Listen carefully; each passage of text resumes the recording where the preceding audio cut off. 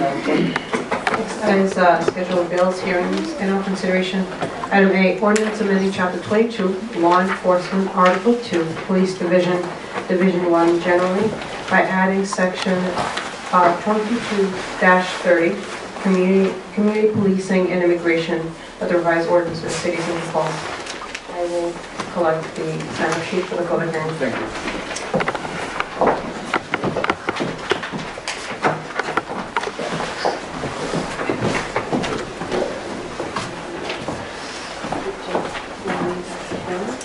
Thank you. Those are written.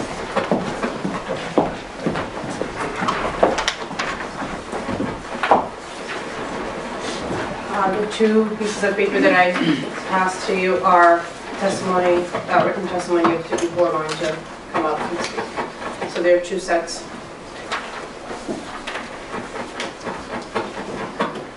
Okay, we now open the public hearing on David Velez.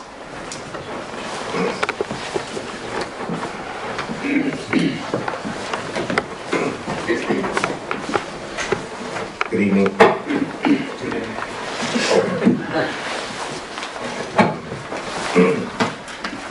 Uh, Honorable Central Falls City Council members, uh, my name is David Velez. Uh, I'm a policy advocate for Progreso Latino. As many of you know, Progreso Latino is a community-based organization located here in Central Falls that for 42 years has worked to empower Rhode Island's Latino and immigrant communities. I'm here tonight because Progreso Latino is a strong supporter of the community policing and immigration ordinance. I'm not only here as Progreso Latino, but also as a member of the Immigrant Coalition of Island, and as an immigrant. And someone who grew up undocumented and traversed the immigration system while in fear of being prosecuted. We'd like to thank Councilwoman Vega, Jessica Vega, for introducing this resolution and all the other city council members who have continuously shown support for immigrant rights. We also like to thank the ACLU and the members of the Immigrant Coalition who are here tonight, and.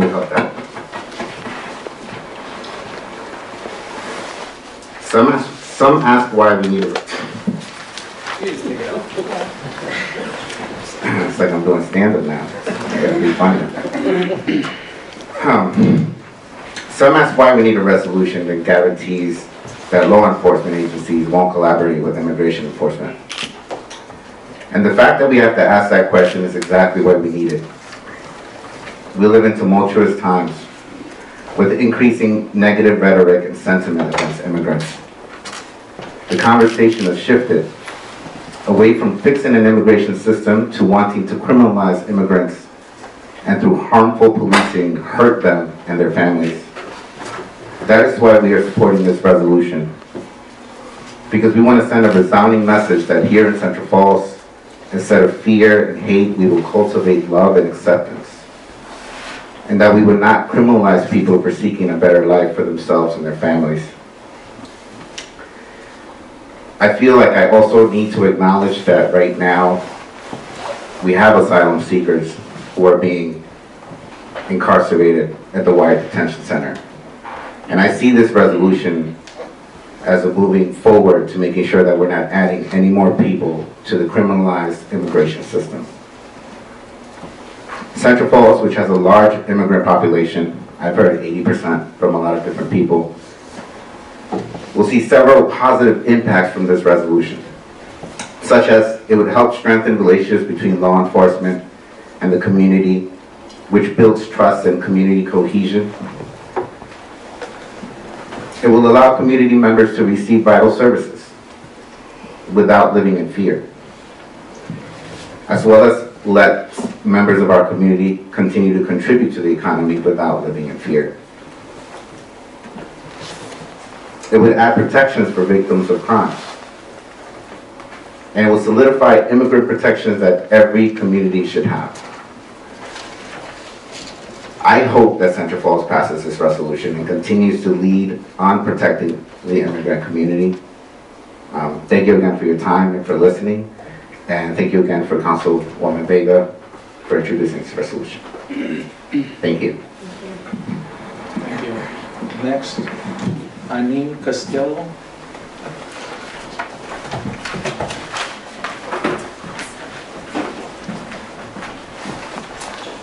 Hi, good evening. Uh, My name is Janine Castello. I'm a community organizer for Planned Parenthood of Southern New England. I am here in support of creating Section 2-333, the Community Policing and Immigration Ordinance. Nationally, immigrant communities have come under attack from the Trump administration, and ICE has been weaponized to make undocumented people feel fearful of deportation rates in their communities. This can make undocumented residents feel even more fearful of seeking the health care they need.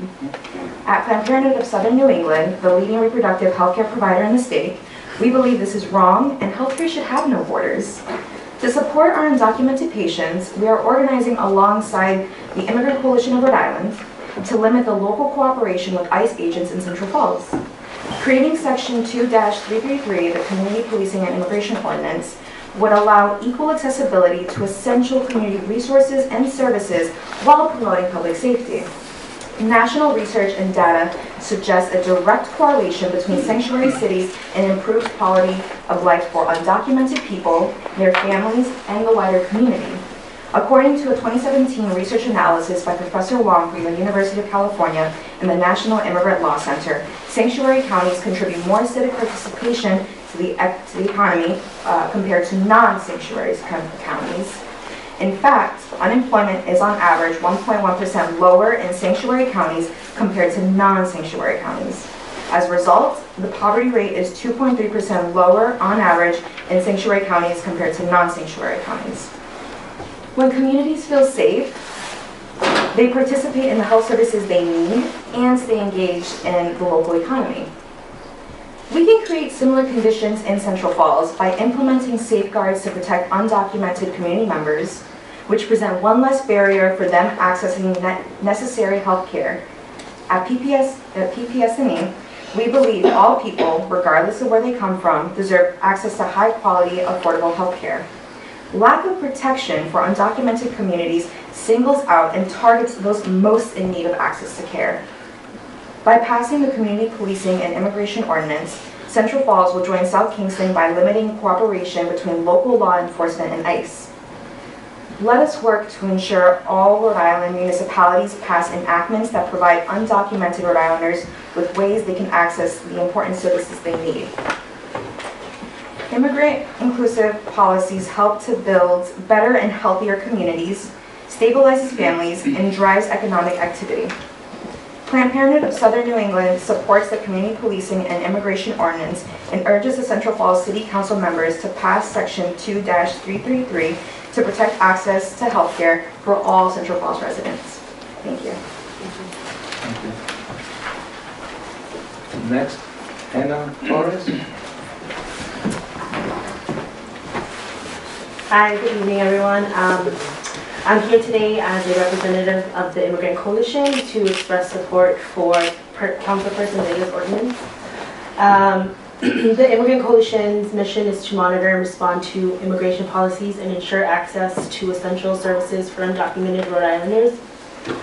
The passage of this ordinance coincides with the coalition's work to support state-level and local enactments that create safe communities for immigrants by limiting the circumstances in which schools, agencies, and local law enforcement coordinate with immigration and customs enforcement. Uh, The coalition provides know your rights workshops and legal consultations to undocumented residents, including detainees being held at the Wyatt Detention Center in Central Falls. Uh, Since April, the coalition staff attorney has provided 141 legal consultations, including 51 to detainees at Wyatt. Through the outreach of active coalition members in Central Falls, we've determined that a lot of community members support passing protections for their immigrant neighbors. Um, The passage of this ordinance will limit the collection of immigrant-related information um, and thus ensure non-discriminatory access to benefits and services for all community members in Central Falls. Undocumented residents experience instability and fear that has been greatly exacerbated by the current administration's policies. Given this political climate, it is important that municipalities within our state take active steps to make Rhode Islanders, all Rhode Islanders feel secure and valued. Enacting this policy, this, the Community Policing and Immigrant Ordinance will promote equal access to services and all protections. Thank you. Thank you. Next, Tia, No, no, no, I, you're not. almost, thanks. Next, uh, Carl from the ACLU. Good evening. Um, My name is Carl Kruger. I'm a volunteer attorney with the Rhode Island affiliate of the ACLU. Um, The uh, proposed ordinance uh, that's before us tonight is a response to the Trump administration's efforts to compel the local jurisdictions, local law enforcement agencies to cooperate in the enforcement of civil immigration laws. Uh, This proposed ordinance is a public safety measure. It contains a variety of provisions, for example, requiring judicial warrants before local law enforcement entities will uh, have to honor ICE detainers. It assists victims of crimes who may be eligible for special immigration statuses. Uh, It rejects participation in a program known as 287G that essentially deputizes local police to serve as immigration agents. And uh, it- this enables uh, the local law enforcement agencies engaging in federal immigration enforcement. Um, This is a public safety measure. Uh, The result of law enforcement agencies on a local level participating with the federal immigration authorities is uh, going to be uh, a chilling effect on the participation of a large part of society, a large part of the community in cooperating with police. Whether they're victims of crimes, whether they're witnesses to crimes, they're going to be chilled from coming forward and assisting the local enforcement, local law enforcement, if they are afraid that it's going to jeopardize an immigration status.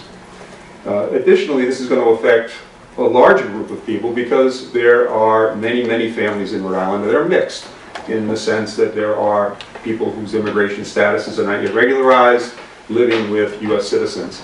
And the- those legal residents are going to be much more disinclined to participate in local law enforcement efforts if they feel that family members are going to be put at risk uh, by cooperating with the police.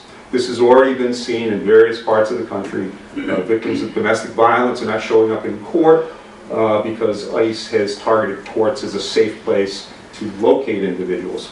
So again, this is a, this is a public safety measure.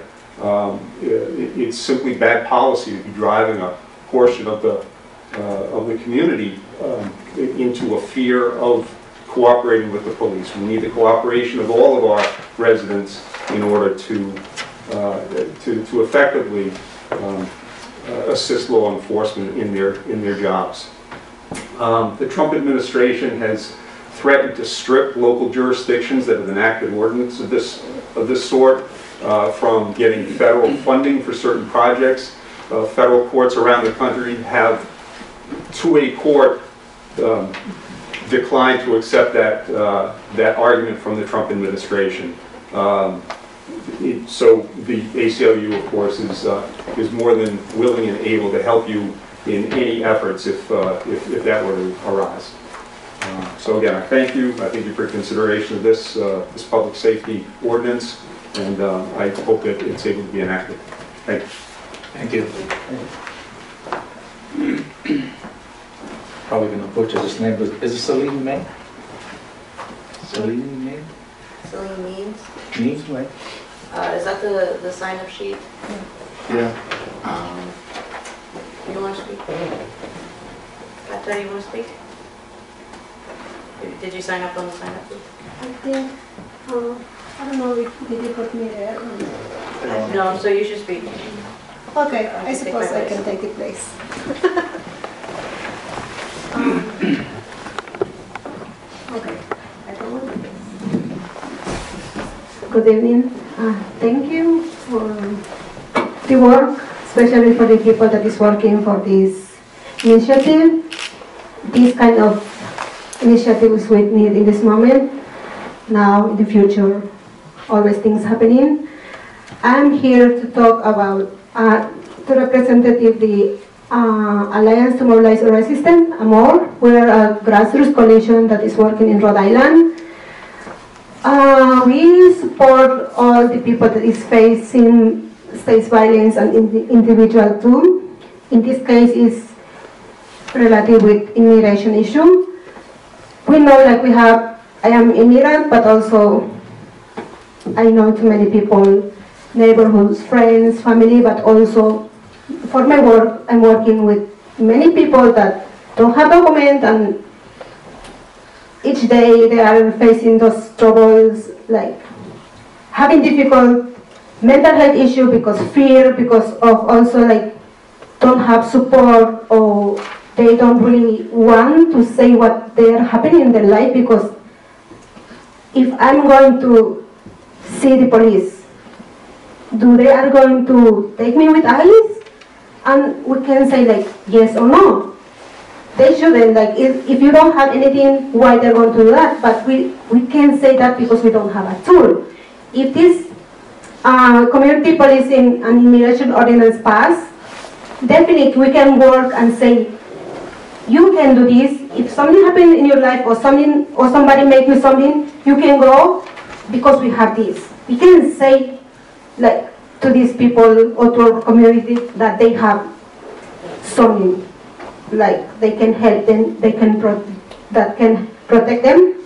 But at this moment we don't have it. I can say my experience working in Providence with people that is living in Providence. They have also there the Community Safety Act. That also that is a tool for us. We know like this is an ordinance that passed in 2017 June. I think just just last year. We can, if this pass, definitely we can use this to support our community. And the the community, immigrant community, especially undocumented immigrants, they need support. Um, they don't really have too many tools or legal support for them. The last thing we can do is to provide this. And this is not going to be like a big, like, it's not going to resolve their problem. But at least we're going to give them peace, we're going to give them some protection, and all the people say also that is there some benefits? Why we can give that? Only that. Is I don't think, in maybe as a community member, I don't think that is there too many costs to pass this um, community policing and immigration ordinance. Then I really encourage you to pass it, to yeah support as AMOR we are as AMOR members we really support this because we know that our community needs it. It's an emergency need. It's not in now. Our community is already affected. It's already we are not only talking about adults. Also, it's about kids, children when they are seeing their family being attacked for people on the street. That is something that is affecting our community. And yeah, is there too many benefits on it? And yes, thank you so much. Please support this initiative. Thank you. Uh, We don't have anybody else signed up to testify. Um, Is there anyone who'd like to come up and speak?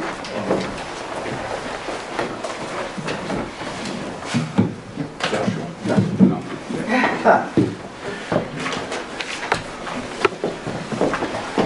Public hearing closed. Madam Clerk? Make a motion to approve the ordinance? No, It's uh, it's only the first reading.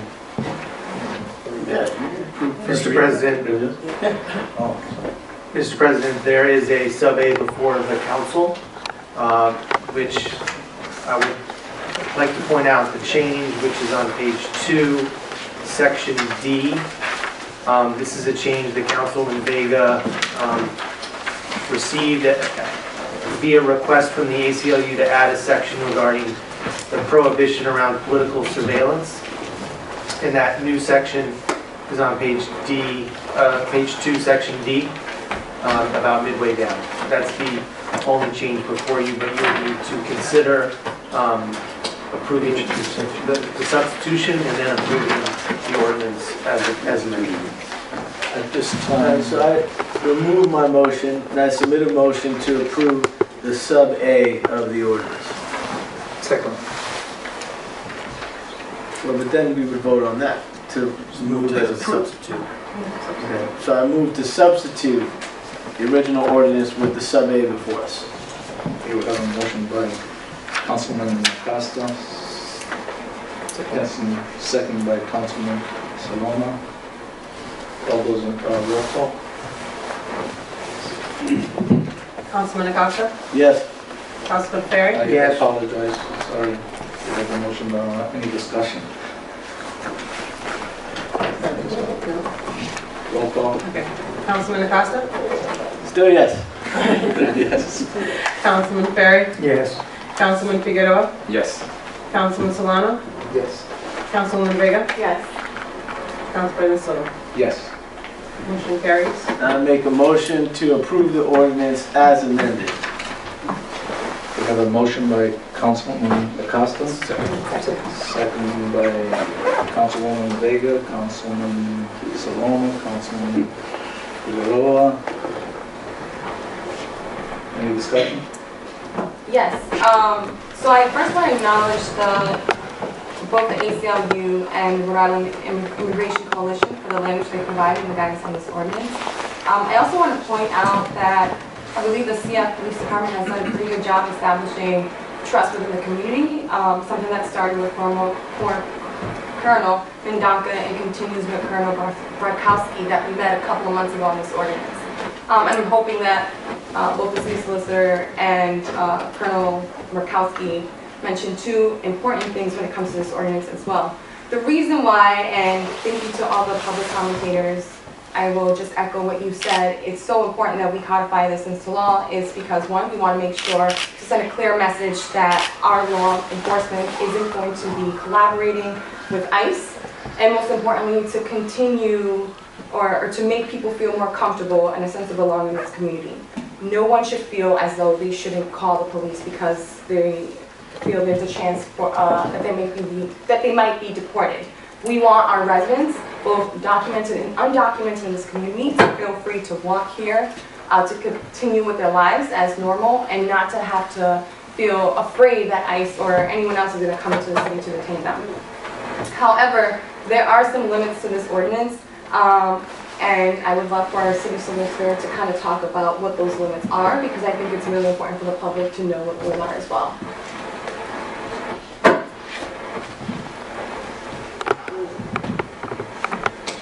Sure, Councilwoman. So um, this ordinance creates section 22-30, uh, Community Pla- Policing and Immigration. Section A um, speaks to the legislative findings, which is, um, as the Councilwoman stated, very well said about creating trust and respect between law enforcement community and city residents, and uh, understanding that law enforcement needs the trust of the community in order to do its job. Section B um, uh, speaks to the limitations on the activities of members of the Central Falls Police Department. Uh, Specifically, the ordinance says, "The Central Falls Police shall not stop, question, interrogate, investigate, or arrest an individual based solely on any of the following: either actual or suspected immigration or citizenship status, or a civil immigration warrant, administrative warrant, or an immigration detainer in an individual's name, including those in the National Criminal Database, known as NCIC.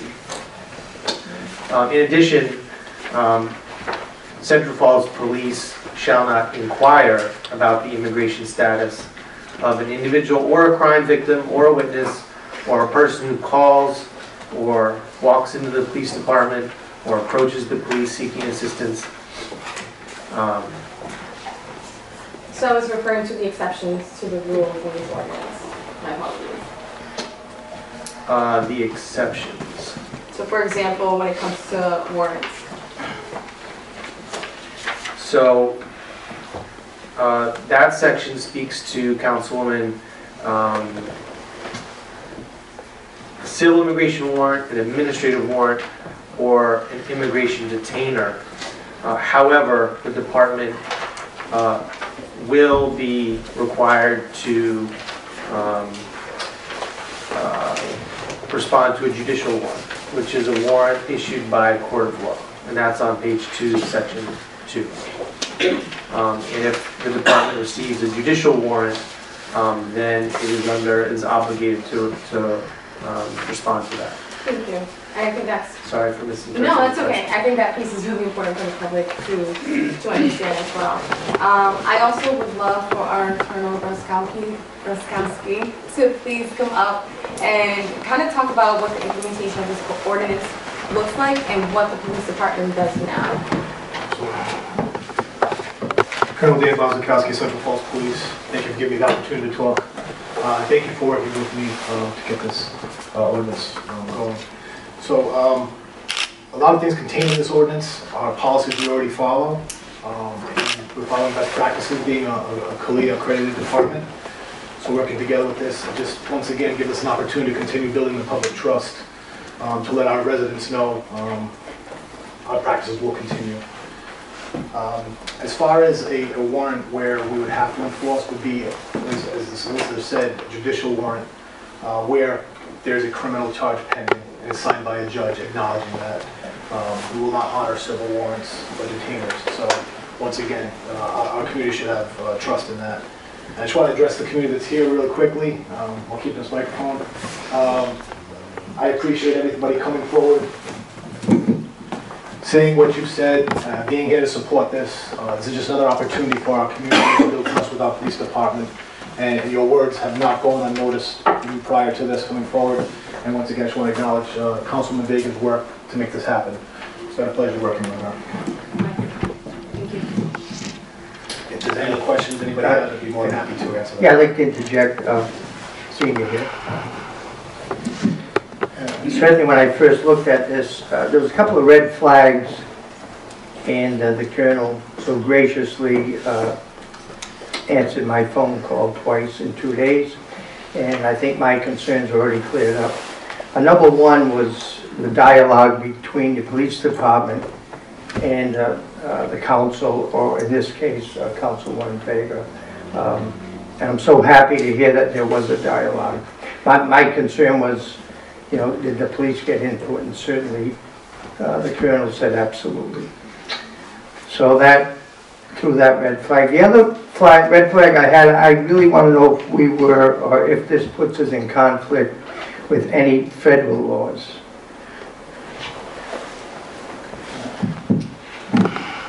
Councilman Ferry, in the summer of 2018, the city of Central Falls, along with City of Providence, went to federal court and we sued the Trump administration over the Trump administration's attempt to hijack our federal Byrne JAG funding and to require immigration-related conditions on the receipt of those federal funds. So there's a federal statute that says Central Falls is entitled to about $30,000 a year for things like technological upgrades for our servers and other um, resources for the department.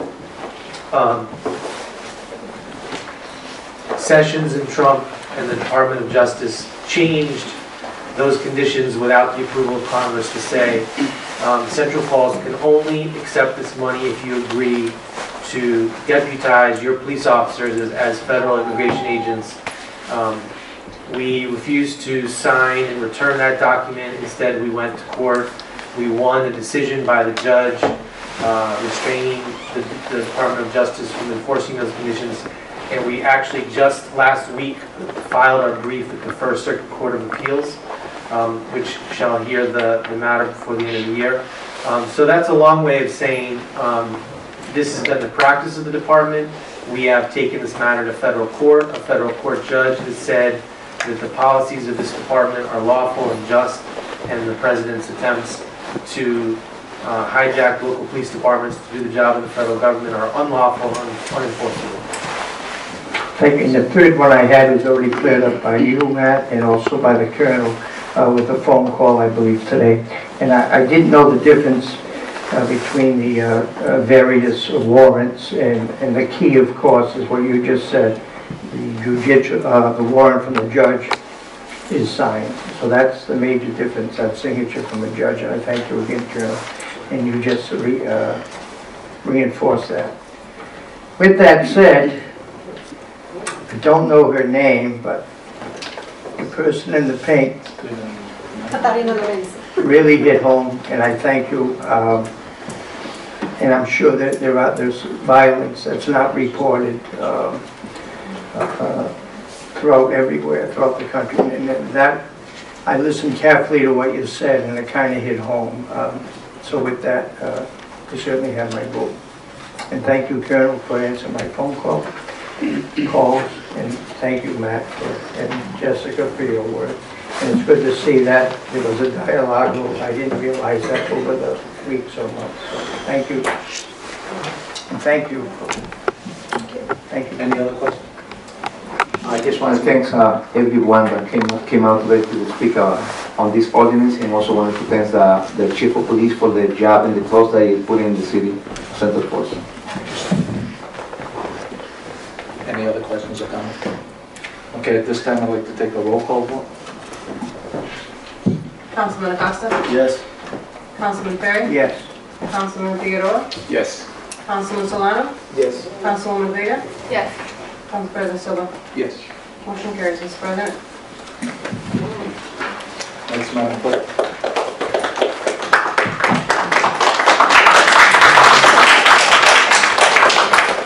Next item is ordinance amending chapter 12, businesses, article 1 in general.